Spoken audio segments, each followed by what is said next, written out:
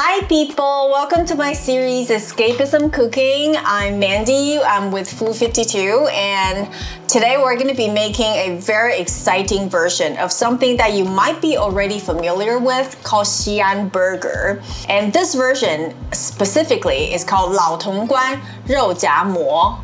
Rou Jia Mo just means it's just a Xi'an burger, but Lao Tong Guan is a style. And what makes it different, I'm going to show you. So here I have small pot with a um, sesame, toasted sesame oil. I'm heating it up around like medium high heat or high heat. And I'm gonna brown my pork bellies first, okay? The trick to really properly browning your meat is don't over, don't move it too much, okay? Once you put it in, just let it sit there for a good two minutes without moving it. You want to get pork belly that has skin on, and you want something that has a very good distribution of lean meats and fat. You don't want something that is overly fatty, but you also don't want something that is completely lean, okay? And the skin on part is very important because the skin will release gelatin and give body to the sauce. And I'm gonna go brown like all sides, so it's gonna take two minutes on each side, I think. After a couple minutes, you can check, and the first side should be nice and brown like this, okay? And then you flip them. Now I'm gonna add my aromatics in. I'm gonna cook them for about maybe a minute, okay? I'm gonna let the scallion and the garlic kind of get a little bit of brownness on the edges. Now I'm gonna add my intestine in. Why I want to use this part of the pork is because it adds a textural difference to the meat, okay?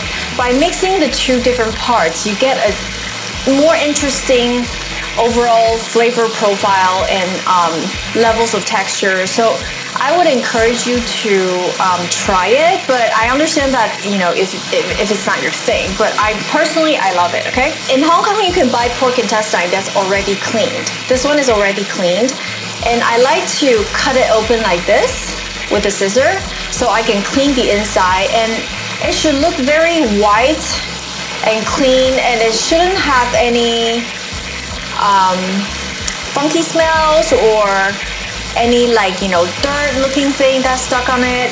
Um, so I'm not gonna clean this, but in the, in the instruction, I have um, detailed how to clean pork intestine very thoroughly. So if your pork intestine comes uncleaned or, or completely raw, you can um, just follow the steps. Now I'm gonna add my soy sauce, Shaoxing wine, and brown sugar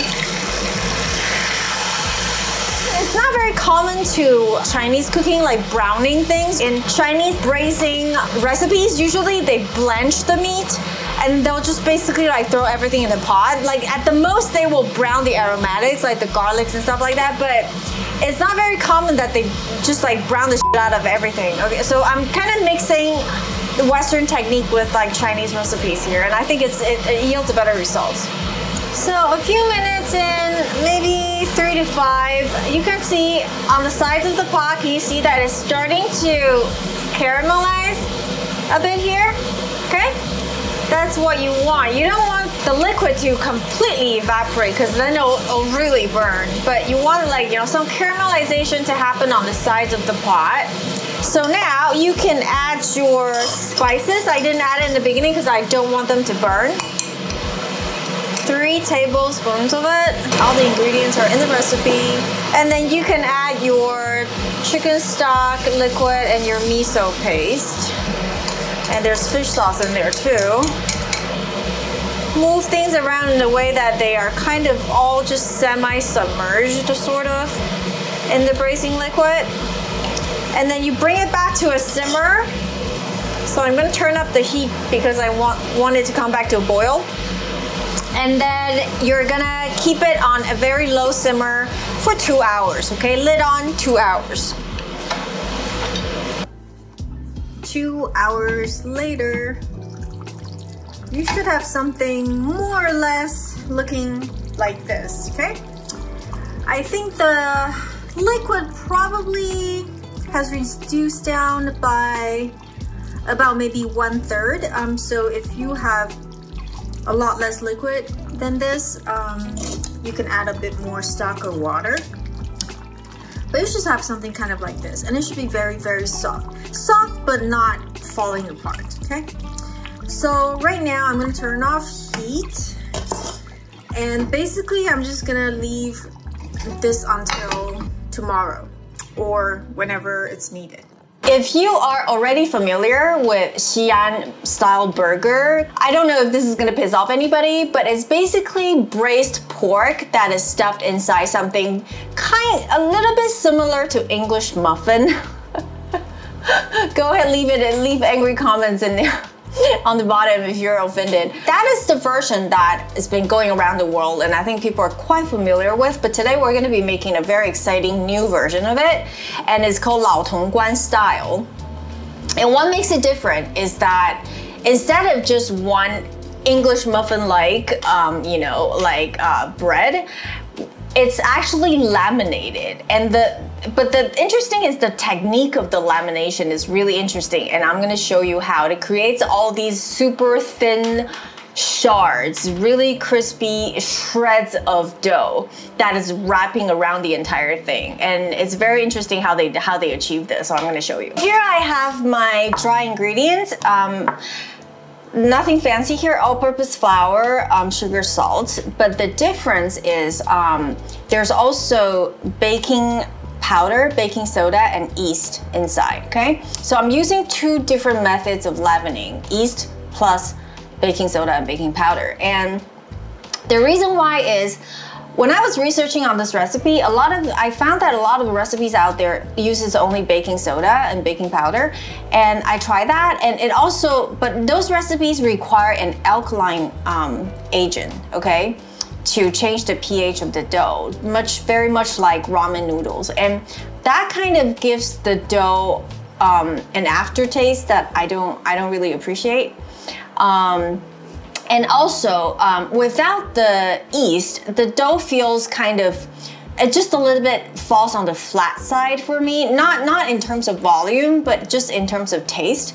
So right i'm kind of like trying to get the best of both sides. I'm using yeast and also that leavening powder uh, leavening uh, the lifting power of baking soda to make uh, to create that puffiness. So here is all the dry ingredients already in here and we're going to have to add water.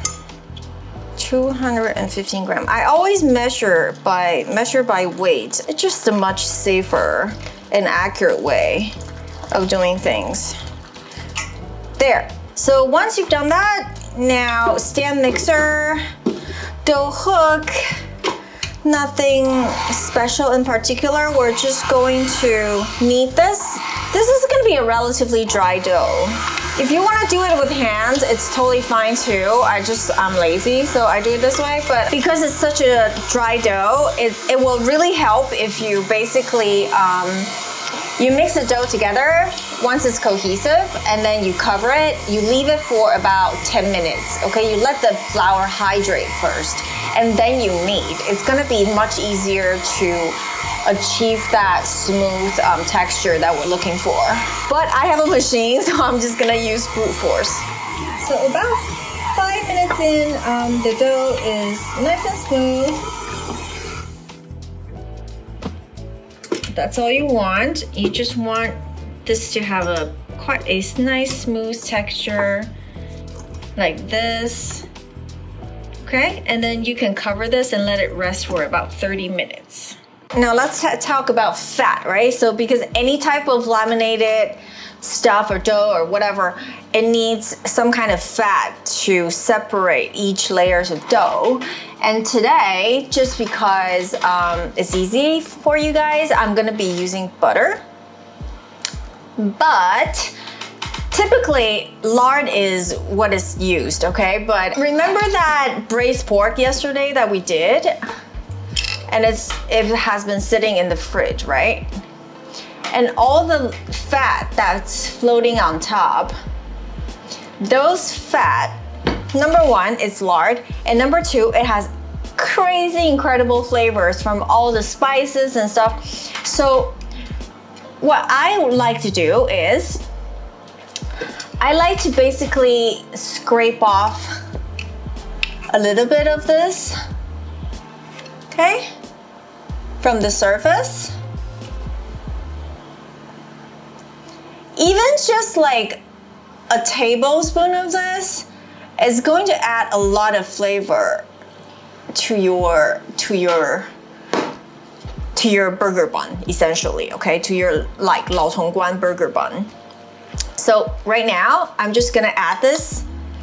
And it doesn't matter it, it's okay if there's a little bit of liquid in there like butter has a little bit liquid it wouldn't really matter as much okay so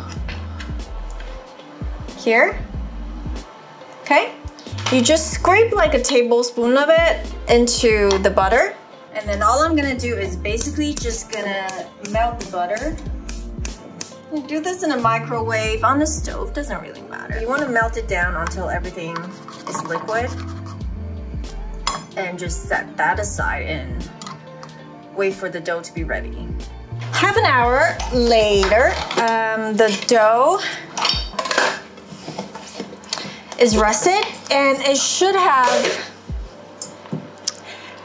kind of risen a little bit, okay? That is totally fine. That's exactly what the yeast is doing what it was supposed to do. We're gonna basically cut this into three equal portions, okay? Don't, don't worry about um, punching the air out or anything. This is going to get rolled out and all those air is gonna come out whether it wants to or not. Cover two of them with a plastic wrap. Set them right here, okay? And then this one here, I'm going to just roll it out a little bit first so it can fit nicely into the pasta machine. You're gonna need a pasta machine for this, I'm sorry. And of course, we're gonna have a little bit of flour here. Make sure that it's not sticking. So the thickest setting, and we're gonna roll this out to all the way to the thinnest, okay? You only need to do each setting once. And if you feel like the dough is getting just a tad bit sticking, you know, you can always dust it with flour. And you see these round tips here? If your tips are getting a little too pointy, I like to actually like fold it in like this and then pass it through again so that it's I get a straighter edge. And make sure that you have a long counter like this, okay? Long enough for the entire length of the dough. There we go. Stretch that out. You're gonna need something like this. It's like a noodle cutter, okay? Actually, there are special cutters that is made especially for the Lao Tong Guan Rou Jia Mo recipe, but the noodle one will do. So the fat, we're just gonna brush it generously on the surface all the way to the edges. Don't leave a margin give it a really good douse. This is not a particularly time sensitive dish, like, you know, it's not a croissant, you need to like keep the butter cold, keep the dough cold, everything cold. It doesn't really matter, so take your time, don't panic. As you're brushing those butter, not only that the dough has a little bit of time to relax, okay? But also the butter is going to help us do the next step, which is we're gonna stretch it out even thinner. Hold the dough on the side, slowly stretch it out so it doubles in width. And the dough is very elastic and very pliable, so you shouldn't have too much trouble with this as long as you go slowly. Don't like, you know, tear it apart like that. Go slowly, give the dough time to adjust. Stretch it out slowly. Now, very large, flat, thin piece of dough. Now the next step, you're going to trim off just a bit of these edges that is slightly uneven. And also not only that it's a little uneven, but also because that's where your fingers were holding on to and therefore it's gonna be a little bit thicker than the rest of the dough. So we're going to trim that off. Listen, it doesn't have to be perfect. I'm mainly trimming it because of the thickness issue, not really because of the unevenness issue. And you're gonna start rolling it. Don't roll it too tightly. We want like an airy bun. So I'm kind of lifting it up a little bit and kind of just like rolling it, tucking it in, leaving like quite a bit of pockets of air inside. You know, instead of like rolling it super tightly. And then once I get to about halfway through the dough, you're gonna take your noodle cutter. You know what, actually I'm gonna brush a little bit of butter on that roller. Okay, so now you just roll it out. Okay. Once you've done that, I like to go back in, give it a few more cuts. You don't have to do this, and it's gonna actually make it a little bit messy, but I like to do this because I just want those layers to be even thinner. Now, you keep rolling the rest. Any loose strands that are broken, just tuck it back in. No big deal. And you're gonna get something like this. It's gonna look like a little rolled up mummy. Once you have that, cut it in half, lengthwise, press it down. Make sure that the center spiral stays in the center. And then you give it a bit of a roll at this point, it's going to fight you a little bit because we've been working on it for, for a while and those gluten is gonna get activated. It's gonna wanna spring back. It's gonna be a little bit disobedient, but it's okay. After that, you can set this on a sheet pan and cover it with plastic wrap and let it rest. And you're gonna repeat the same procedure for the rest of the dough. Once you're done with all that, you should have six of these little pretty babies and they need to rise again. I think in a room temperature, it'll take like one hour. If your kitchen is very cold, maybe it'll take two hours, but it shouldn't take longer than that, okay? While your doughs are resting, that braised pork, we're gonna bring it back to a simmer feel like there's not enough liquid inside, you can just add two or three tablespoons of water, but not like, you know, much more than that because we don't want to thin out this really gorgeous gravy. Now, you're gonna pass the gravy through a strainer.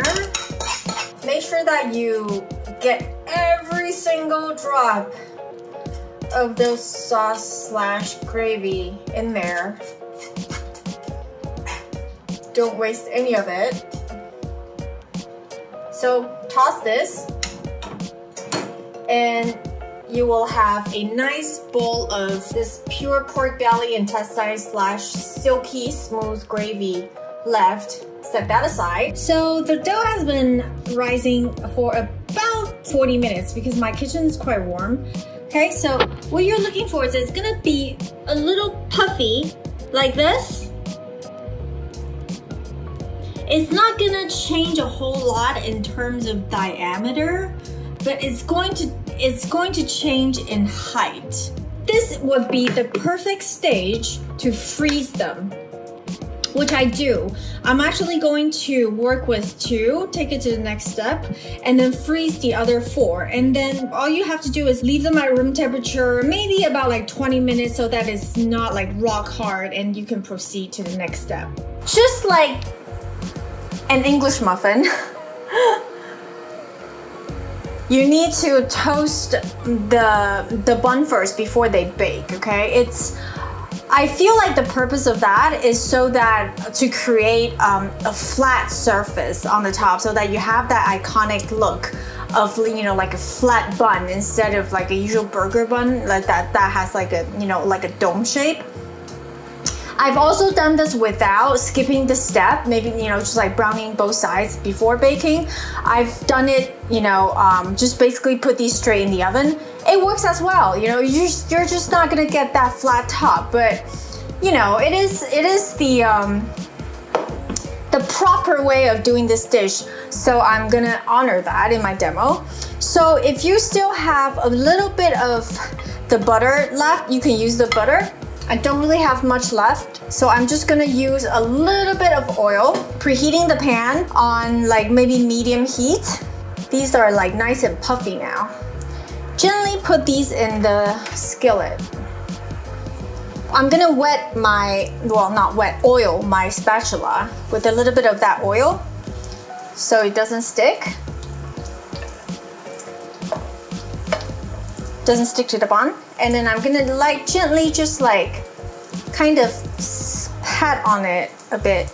You're not trying to cook this completely, so keep your keep your heat on a low. And you don't wanna like press it down too much because you don't wanna basically undo all those bubbles inside. So very, very gently, this is not a smash burger. You're, you don't wanna like, you know, just leave it and I would say give it like one to two minutes on medium heat. This is the kind of browning that you're looking for. Not too much, just a bit.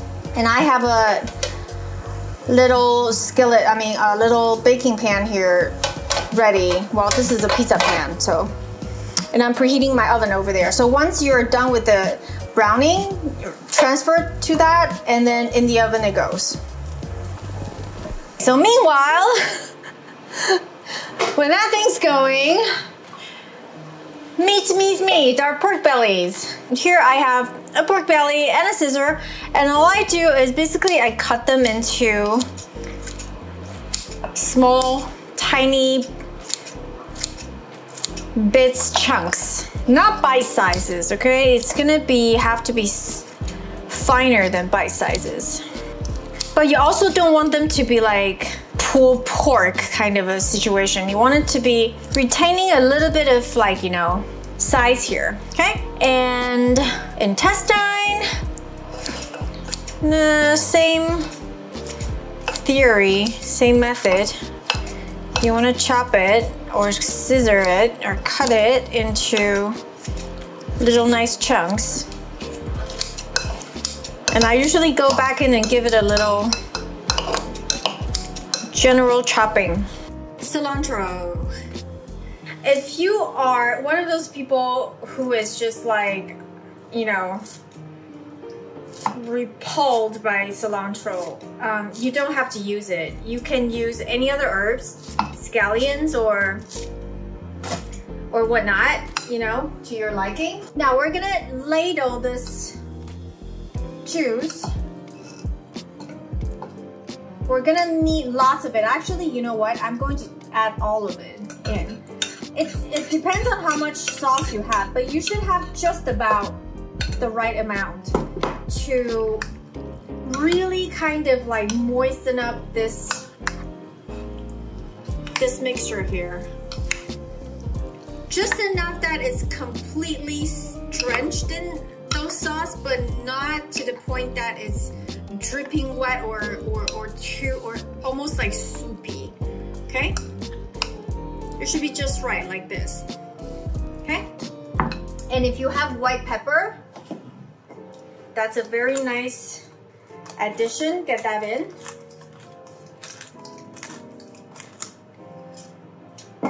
And this is done. And the next component is a bit unusual. I think it's a very unexpected and nice addition.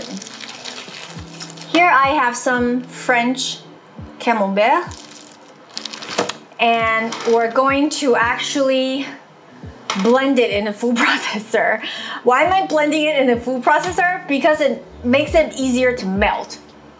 You don't have to do it, okay? If you don't have a food processor or whatever, you can totally just do slices. But I like it and I, I feel like, you know, um, by blending it, I get I like the look of it. I like, you know, the texture of it. So that's why I'm doing it. But, you know, just know that it's just being, it's just me being a little nuts, okay? I like to trim off some of those excess rinds on the side. It's just a texture thing. I like the overall feel to be very, very creamy.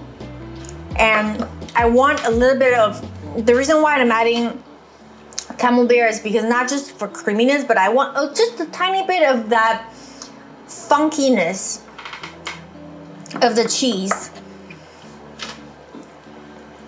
And this is especially important if you're not using pork intestine, okay? Because the pork intestine adds not just textural difference or like, you know, textural playfulness to, to the overall dish, it adds a bit of that funk. After blending, that solid piece of camembert is now basically a spread. And that is why I'm blending it in a food processor because I want it to be nice and creamy, like almost like a spread, like a butter, like a mayonnaise. I don't want that texture, okay? So I want to say it's optional. Like I said, I already said that it was optional, but I really, really want you guys to do it, okay? It's cooled off slightly, but still really hot. You want them to be hot, okay? So, you see all those nice little shreds? They're gonna be nice and super crispy. Now, let me show you how to put this together. Slide it open. It's going to be nice and fluffy and airy inside. I like to leave just a little bit of connection intact there. Now, that really nice creamed camembert, we're going to slather that on top. You really want your buns to be hot. If you want to make this ahead of time, you can, but make sure that you re-bake it in the oven just to bring it back. Really be generous. Slather that on. Then of course, that really nice pork belly stew. Oh yeah. Nice. And that is the Lao Tong Tongguan style Rou Jia that I am sure is going to impress any of your friends or guests. So let's dig in. Mmm. Crispy, salty, creamy, super intense, aromatic, salty, funky. All these different textures playing.